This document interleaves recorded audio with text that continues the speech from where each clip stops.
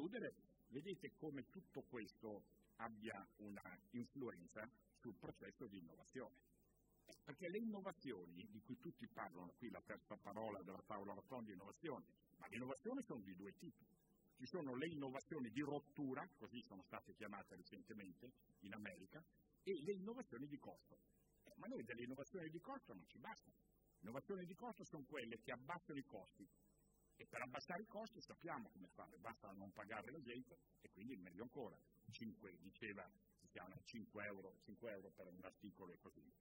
Eh, ma noi le innovazioni di costo non risolvono il problema dei giovani, noi abbiamo bisogno delle innovazioni di rottura, che sono quelle innovazioni che introducono nuovi beni e servizi con modi nuovi e sono quelle che effettivamente creano le nuove possibilità. Questo è alla nostra, alla nostra portata, perché noi italiani abbiamo la possibilità per questo. Quindi non fare quel che potremmo fare è doppiamente scandaloso o peccaminoso, dipende dai punti di vista. Grazie.